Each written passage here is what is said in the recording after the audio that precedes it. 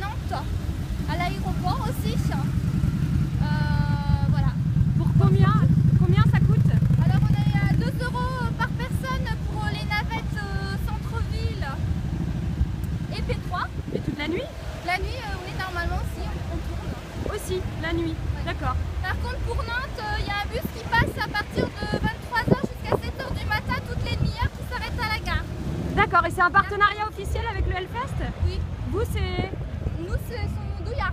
c'est des ambulances Oui. à la base. à la place. Rien à voir avec du Ils font de la location de véhicules et puis euh, transport euh, en commun, transport de, de personnes aussi. Et taxi, D'accord, ok. Ça marche bien? Euh, je pense. C'est nouveau ou? Ah non, non, ils sont partenaires du Hellfest depuis le début, d'après ce que j'ai compris. Alors moi, c'est la première année que je le fais, donc euh, je suis là en extra, on va dire.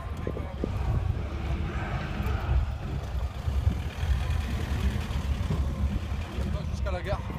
On est logé pas loin de la gare, donc du coup on vient tout de suite à la gare. Et vous avez déjà utilisé les navettes À ce midi là Ouais, tout à l'heure. Ouais, Vous en pensez quoi du service bien, c'est bien, c'est impeccable. Mieux que le taxi Bah, c'est le pratique, taxi, on, en, on couvre toujours à peu près. Euh, non, c'est- tu vois là on sort, il y en a un, bon, c'est bien. Et le prix Bah, le prix de ça. Un trajet vers la Ah non, c'est bien. Vous avez combien de places, madame J'en ai 8.